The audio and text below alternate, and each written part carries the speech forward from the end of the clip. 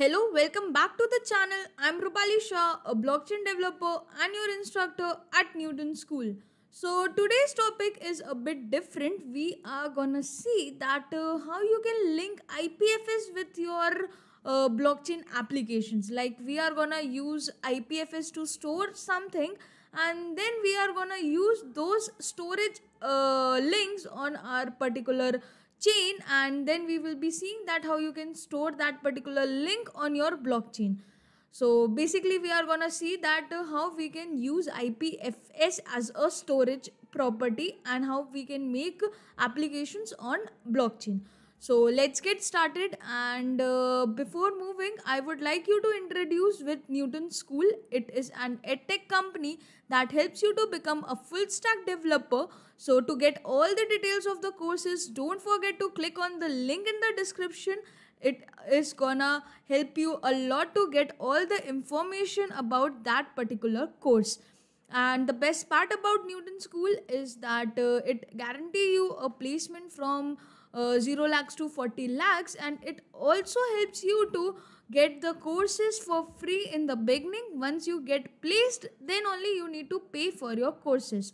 So don't forget to check out the link in the description. That will surely help you to understand our course pattern understand the details of every bit of the course and help you to become a full stack developer so let's move to the browser and let's see that uh, like in our previous video we have already gone through like how you can upload a particular image or a particular file on uh, IPFS but today we are gonna link that IPFS with our blockchain applications.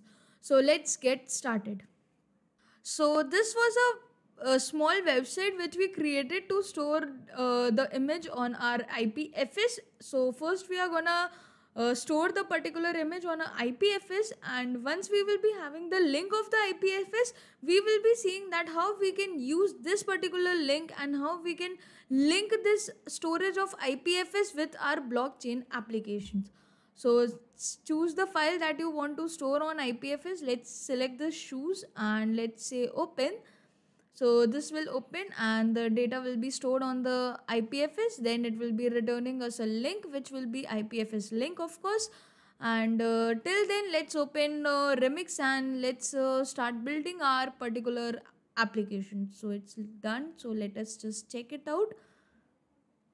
Okay, it's uh, loading. Till then we can just open Remix IDE. Remix IDE and uh, okay so it is giving us some error. Let us try again. Let's uh, select some different image. And let's see what's the problem. Uh, i guess the problem is not with the particular image or thing. Yeah now it's done. It may be the network issue uh, because of which we face that. So no worries. And uh, this is the important link. So we are gonna copy this link of course now what's the thing is uh, let's create a particular application. Let's say uh, pick application pick.sol application. And uh, from a previous uh, file let's bring two things. One will be the license and the second one will be the solidity compiler. Uh, let's grab two things uh, in this file also. And let's create a contract. Let's name it as pick and over here okay uh, wrong brackets sorry for that. Yeah.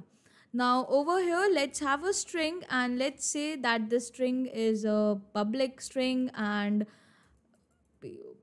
like string and it will be taking two things. One will be the name and let's say that uh, the value to this name. Okay no let's not give any name value and the second will be the pick. So we will be having public and this will be taking the pick now what we are gonna do is we are gonna create a function and this function will be set detail function basically details. And this is uh, gonna take two things. One will be the string memory name. So let's keep it n. And the second one will be string uh, memory. And uh, that thing would be the pic. So let's keep it p and let's say that it's a public function. And now uh, we will be saying that name will be is equals to n and pick will be is equals to uh, sorry uh, yeah pick will be is equals to p. Now what we are gonna do is let's just compile it. Okay we got an error. Uh, hmm. the error is in this line. Okay instead of uh, that uh, uh, we need comma over here. Now let's see. So we got a successful compilation. So everything is working fine. Now let's just uh, deploy it on our uh, Binance uh, network.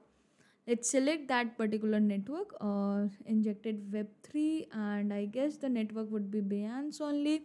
Now let's just deploy our uh, pick.sol uh, contract and once it's doc, uh, like uh, deployed uh, once the confirmation comes and we just confirm it we will be moving to our uh, storage stuff. Like uh, how you can use this particular uh, link to have a particular uh, this particular profile pic like this particular image as your profile pic or your pic so I guess uh, we have to confirm the transaction now. Let's just confirm the transaction and once the transaction will get confirmed, we will be uh, of course of course exploring this also that uh, how the data looks like and everything.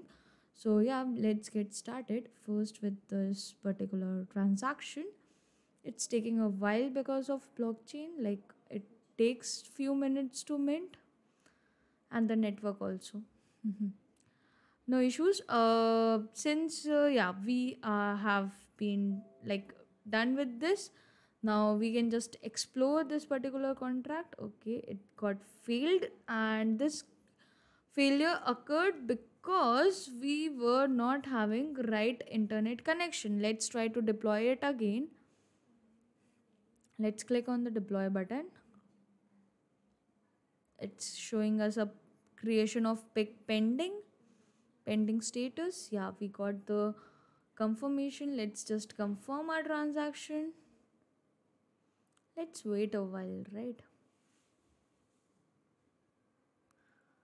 So once this particular transaction will get confirmed uh, it's pending right now. Let's just speed up. Uh, no worries with the gas fees because we are on a test net so we can just go for the speed up button and we can pay few extra uh, Binance chain uh, like uh, crypto for this.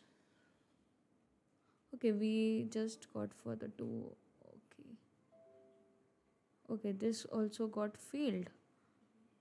Right um the main issue is with uh, the internet only over here Let's wait for this last one. This also got filled. Okay, this got completed, right?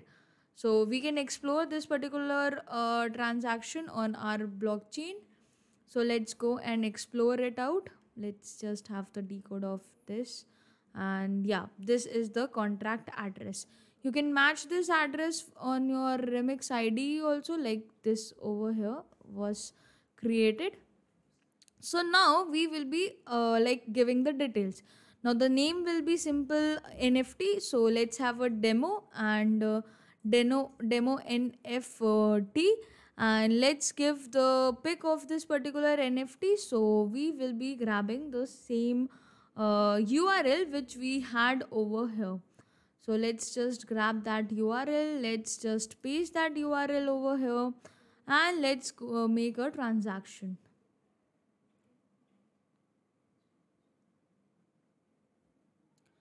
so once your transaction will be done uh, once the transaction get completed then you will be storing the image in the form of ipfs uh, link.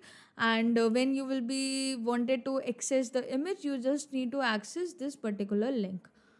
So this is how you can use the string data type to store the pic uh, url and this url can be ipfs url okay it's taking a bit of time. Let's create a transaction again. I guess this time is because we are with a very slow internet connection. So let's just wait a bit uh, because of internet connection. Or else let me just switch to another internet. We just have two options so not that much. Great. Yeah so our transaction occurred and let's just confirm the transaction. And once the transaction is confirmed okay we just want to confirm one transaction. So once the transaction will be confirmed we can have this particular transaction on our Binance network. And over here in data field okay this was for the deployment of that particular trans uh, contract only uh, like not this uh, transaction occurred. So let's try it again. Let's make a transaction again. And if this transaction will get confirmed then we would be able to fetch the data fetch the profile pic fetch the name from our this Binance transaction hash and you can also move to this particular contract and over here in the contract you can basically go and uh, like uh, you can decompile the bytecode and you can just decompile the particular bytecode to look the transaction like uh, the whole contract. And you can also go to the events like what all events have occurred with this particular transaction like set details we have called for two times and it also shows you the events which we have. So yeah it's a good place to get exposure of your particular transaction.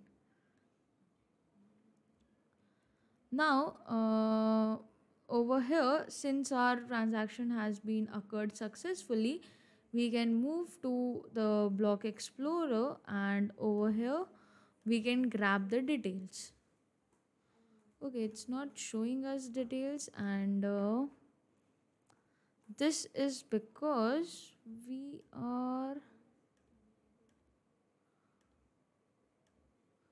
yeah it's now getting this particular uh, IPFS so let's have